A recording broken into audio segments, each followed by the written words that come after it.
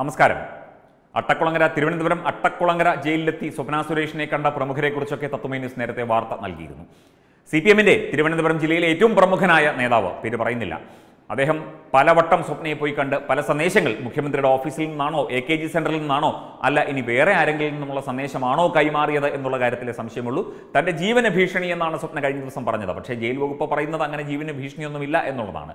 പക്ഷേ ഇപ്പം എല്ലാം കൂടെ കൂട്ടി വായിക്കുമ്പോൾ ജീവന് ഭീഷണി ഉണ്ട് എന്നുള്ള അവരുടെ വാദത്തിൽ എന്തെങ്കിലും കഴമ്പുണ്ടോ എന്നറിയില്ല. എന്തായാലും കോടതിയാണ് ഈ വിഷയം പരിശോധിക്കേണ്ടത്. എന്തായാലും അതിന്റെ വിശദാംശങ്ങൾ നോക്കാം. തന്റെ ജീവന ഭീഷണിയെന്ന് സ്വപ്ന സുരേഷ് കോടതിയിൽ പറയുന്നു. ജയിലിൽ ചിലർ തന്നെ വന്ന് കണ്ടുവെന്നും പല ഉന്നതരുടെയും പേരുകൾ പറയരുതെന്ന് ആവശ്യപ്പെട്ടുവെന്നും സ്വപ്ന കോടതിയെ അറിയിച്ചു. കഴിഞ്ഞ ദിവസം ഉച്ചതിരിഞ്ഞ് എറണാകുളം അഡീഷണൽ സെഷൻസ് കോടതിയിലെത്തി തനിക്ക് ചില കാര്യങ്ങൾ പറയാനുണ്ടെന്നും തന്റെ അപേക്ഷ പരിഗണിക്കണമെന്നും കോടതിയിൽ ആവശ്യപ്പെട്ടു. തുടർന്ന് സ്വപ്നയുടെ ഹർജിയും കോടതി പരിഗണിക്കുകയായിരുന്നു. തനിക്കും കുടുംബാംഗങ്ങൾക്കും തനിക്ക് മാത്രമല്ല തന്റെ കുടുംബാംഗങ്ങൾക്കുൾപ്പെടെ അതായത് ഇന്ന ഉന്നതരുടെയൊക്കെ പേര് പറഞ്ഞാൽ നിന്നെയും നിന്റെ കുടുംബത്തെയും ഇല്ലാതാക്കും എന്ന് ചില നേതാക്കന്മാർ തന്നെ ചില പ്രമുഖർ തന്നെ വന്ന് ജയിലിൽ തന്നോട് തന്നോട് ഭീഷണി മുഴക്കി എന്നാണ് ഇപ്പോൾ സ്വപ്ന പറയുന്നത്. തനിക്ക് കോടതി ഇടപെട്ട സംരക്ഷണം ഉറപ്പാക്കി തരണം എന്ന കാര്യം കൂടി സ്വപ്ന ആവശ്യപ്പെടുന്നുണ്ട്. അട്ടക്കുളങ്ങര ജയിലിൽ തന്നെ ചിലർ വന്നു കണ്ടു.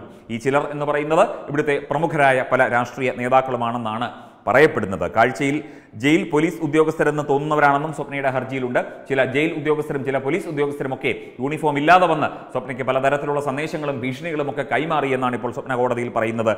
കേസുമായി ബന്ധമുള്ള ഉന്നതരുടെ പേരുകൾ പറയരുത് എന്ന് തന്നെ വന്ന് കണ്ടവർ നിർബന്ധിച്ച് ആവർത്തിച്ച് ആവശ്യപ്പെട്ടു. ഇല്ലെങ്കിൽ നിന്നെ കൊല്ലും എന്ന് പറഞ്ഞു കാണുമായിരിക്കും. അതായിരിക്കും അവർ ഭീഷണി എന്ന് പറയുന്നത്. അന്വേഷണ ഉദ്യോഗസ്ഥരുമായി ഒരു കാരണവശാലും സഹകരിക്കരുതെന്ന് വന്ന് കണ്ടവർ ആവശ്യപ്പെട്ടു. അതുപോലെ കേസുമായി ബന്ധപ്പെട്ട പല മൊഴികളും അന്വേഷണ ഏജൻസികൾക്ക് നൽകിയിരുന്നു. ഈ സാഹചര്യത്തിൽ ഉന്നതരുടെ പേരുകൾ പറയരുത് എന്നാണ് ആവശ്യപ്പെട്ടിരിക്കുന്നത് എന്നാണ് സ്വപ്ന ഇപ്പോൾ കോടതി അറിയിച്ചിരിക്കുന്നത്. തന്നെയും കുടുംബത്തെയും അപായപ്പെടുത്താൻ ശേഷിയുള്ളവരാണ് വന്നു കണ്ട ആളുകൾ. അവർ ചില്ലറക്കാരല്ല. അവർ വന്നു കണ്ട് സംസാരിച്ചു പോയവരൊക്കെ തന്നെ തന്നെയും തന്റെ കുടുംബത്തെയും ബുദ്ധിമുട്ടിലാക്കാനും അപായപ്പെടുത്താനും ശ്രമിക്കാൻ കഴിവുള്ളവരാണ്. അതിന് തക്ക ഹോൾഡ് അതിന് തക്ക കഴിവും കാര്യങ്ങളും കാര്യശേഷിയും ഒക്കെ ഉള്ളവരാണ് തന്നെ വന്ന് കണ്ടത്. അല്ലാതെ ആപ്പയൂപ്പയൊന്നുമല്ല എന്നുള്ള കാര്യമാണ് സ്വപ്ന ഇപ്പോൾ കോടതിയിൽ അറിയിച്ചിരിക്കുന്നത്. അതുപോലെ തന്നെ പലതവണ ഇത്തരത്തിൽ ഭീഷണി ഉണ്ടായതായും സ്വപ്ന പറയുന്നുണ്ട്. കസ്റ്റംസിന്റെ കസ്റ്റഡി കാലാവധി കഴിഞ്ഞ് തിരികെ അട്ടക്കുളങ്ങര ജയിലിലെത്തുമ്പോൾ തനിക്ക് സംരക്ഷണം വേണം എന്ന ആവശ്യമാണ് സ്വപ്ന ഇപ്പോൾ ഉന്നയിച്ചിരിക്കുന്നത്. ഇത്തരത്തിൽ തന്നെയാണ് പല രീതിയിൽ അതായത് ഒരു കേസിൽ ഉൾപ്പെട്ട വ്യക്തിയെ ഭീഷണിപ്പെടുത്തുന്നതും വിരട്ടുന്നതും അല്ലെങ്കിൽ അവരെ ചൂണ്ടുവിരലിൽ നിർത്തുന്നതുമൊന്നും പുതിയ കാര്യമൊന്നുമല്ല. പ്രത്യേകിച്ചും ഇടതുപക്ഷക്കാർക്ക് ഈ ഭീഷണിയും കാര്യങ്ങളൊക്കെ വളരെ കാലം മുമ്പേ അവർക്കറിയാം. അതായത് അനങ്ങിയാൽ കൊല്ലും മിണ്ടിയാൽ കൊല്ലും അങ്ങോട്ട് തിരിഞ്ഞാൽ കൊല്ലും പാർട്ടി വിട്ടുപോ വിട്ടുപോയാൽ കൊല്ലും പാർട്ടിക്കെതിരെ പറഞ്ഞാൽ കൊല്ലും എല്ലാത്തിനും കൊല്ലും കൊലയും വെട്ടും കുത്തും മാത്രമേ ഇവർക്ക് ശീലമുള്ളൂ. കാരണം കമ്മ്യൂണിസം അങ്ങനെ വളരൂ അങ്ങനെയാണ് വളർത്തിക്കൊണ്ട് വന്നത്. പക്ഷേ എന്ത് ചെയ്യാനാണ്? വളർന്നു വളർന്നത് പടവലങ്ങ പോലെ കീഴ്പോട്ടായി പോയി എന്നുള്ളതാണ്. കഴിഞ്ഞ ദിവസവും ചില വളരെ പ്രമുഖരായ ചില നേതാക്കളുടെ ആളുകളൊക്കെ നമ്മളോട് സംസാരിച്ചത് നമ്മൾ കേട്ടതാണ്. പേരൊന്നും പറയുന്നില്ല. ഇതിനു മുൻപ് പേര് പറഞ്ഞതാണ്.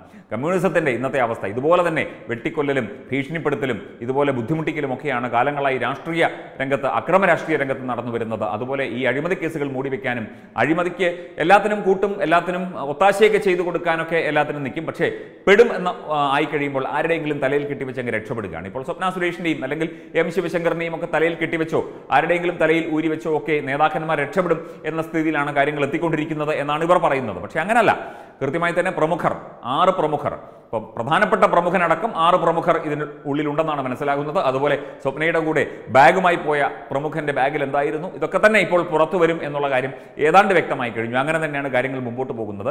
അതിനിടയിലൂടെയാണ് ഇവരെ കൊല്ലും എന്ന ഭീഷണി ഇവരെയും ഇവരുടെ കുടുംബത്തെയും അപായപ്പെടുത്തും എന്ന ഭീഷണിയുമായി എത്തിയിരിക്കുന്നത്. ഇങ്ങനെ പല പല ട്രിക്കുകൾ കാണിച്ച് പല പല വേലത്തരങ്ങൾ കാണിച്ച് ഇതിൽ നിന്നൊക്കെ ഊരിപ്പോരാമെന്നാണ് ചിലരുടെ ഉദ്ദേശമെങ്കിൽ അതൊന്നും ഇവിടെ നടക്കില്ല എന്നുള്ള കാര്യമാണ് നമുക്കൊക്കെ മനസ്സിലാകുന്നത് ഈ അന്വേഷണം ഇങ്ങനെ മുമ്പോട്ട് പോകുമ്പോൾ. എന്തായാലും അവർക്ക് ഭീഷണിയുണ്ടെങ്കിൽ തീർച്ചയായും അവർക്ക് സംരക്ഷണം കൊടുക്കണം. ജയിലിലായാലും എവിടെയായാലും അവരുടെ കുടുംബാംഗങ്ങൾക്കും സംരക്ഷണം കൊടുക്കണം എന്ന നിലയിലേക്ക് തന്നെയാണ് കാര്യങ്ങൾ എത്തുന്നത്. ജയിൽ വകുപ്പ് അങ്ങനെ ഒരു കാര്യമില്ല എന്ന് പറയും പറയുന്നുണ്ട് എങ്കിലും കോടതിയുടെ പരിഗണനയിൽ ഇരിക്കുന്ന വിഷയം കോടതി എന്ത് തീരുമാനിക്കും എന്ന് നമുക്കറിയില്ലല്ലോ. നമുക്ക് നോക്കിയിരിക്കാം. നമുക്ക് കാത്തിരിക്കാം. വെബ് ഡെസ്ക് തത്തുമൈ ന്യൂസ്.